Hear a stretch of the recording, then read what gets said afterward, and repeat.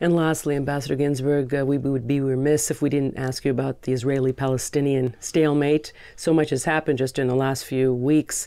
We have a, a, an ostensible unity government, Hamas Fatah, which isn't really working out too well so far. Uh, we have uh, a potential unilateral declaration of independence uh, in the fall at the General, UN General Assembly.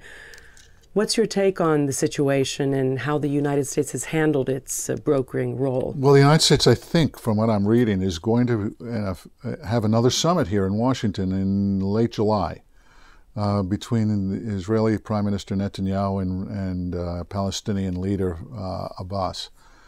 The question ultimately is, is it's not that the Obama administration doesn't genuinely want an agreement.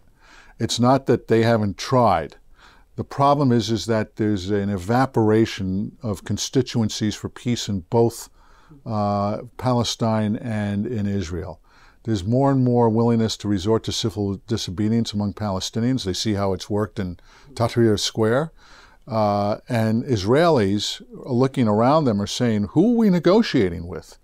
This is a guy who won't even uh, utter the words, we accept a Jewish state and he's running to the United Nations to get a resolution passed, which will have absolutely no tangible impact on the Palestinian people other than create undue expectations.